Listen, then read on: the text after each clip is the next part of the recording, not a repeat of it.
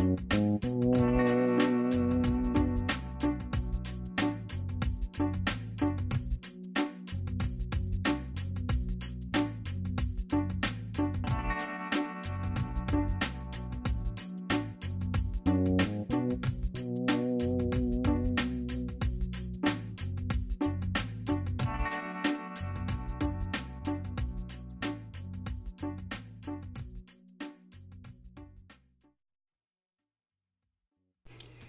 Drive a man, he made a life, but the mammy ain't his wife. Chopping cotton, don't be slow, better finish out your row. Keep a moving with that plow, drive a man will show you how. Get to work and root that stump, drive a man will make you jump. Better make your hammer ring, drive a man will start to swing. Ain't but two things on my mind drive a man in quitting time.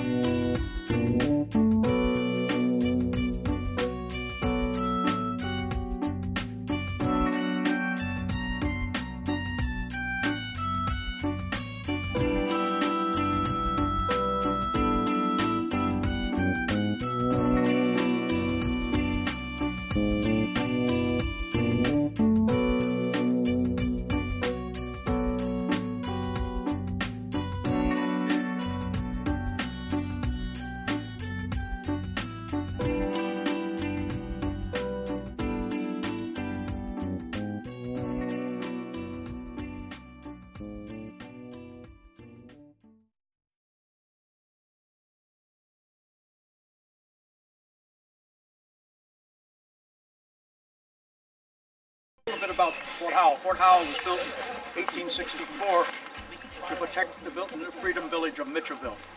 It was built by the 32nd Colored Infantry Regiment, 500 men under the command of Colonel Baird. When you go back to the fort, you'll see the fence there where golf course is for Palmetto Hall. That was where the 500 men bivouacked while they were building this fort. The interesting part about it is this fort, as I said, was built by the 32nd Colored Infantry. First black group soldiers that built a Union fort. And so it's a very important fort for that purpose alone. Now, you have to look at that. There were no trees here back then. This was cotton fields. All these were cotton fields. Mitchellville was built on cotton fields. This fort was built on cotton fields. Uh, um, uh, uh, Drayton, was Colonel Drayton, General Drayton, who commanded the two Confederate forts originally, he owned the six, six of the cotton plantations in here, and this was, his land that both the Mitchellville and the fort was built on. Now, it's an earthen fort. The reason it's an earthen fort was when the, after the war started, all the forts that were built, masonry forts that were built, they were obsolete. They were built originally after the War of 1812, going down the coast, 33 of them. The last one being Fort Pulaski. Now, the reason that they didn't build any masonry forts, the advent of the rifle cannon. The rifle cannon went right through the masonry, opened up the magazines in the fort, so the masonry forts became obsolete. So it was uh, earthen forts. You pick, take the moat, take the dirt from the moat, build your your uh, defense up that way, but using palmetto logs usually don't splinter that well to use it to reinforce it. You had your fort. And down here you don't put water in the moat. when you get alligators and mosquitoes, if you do that. so, but it was a, a way to, to, by using sharpened sticks and so forth, they're keeping off the walls of the fort. That's the type of fort, and that's why this fort. And this is a good example of an earthen fort. Right now, we don't, the trees are growing off on the walls of the fort. We want that to happen right here because it's an earthen fort, and over the years, if you don't have that, it'll all, unfortunately, go away. So that was, that's one of the things. So this fort is a good example of an earthen fort. And uh, it's in pretty good condition. About two years ago, we got it on the National Register of Historic Places.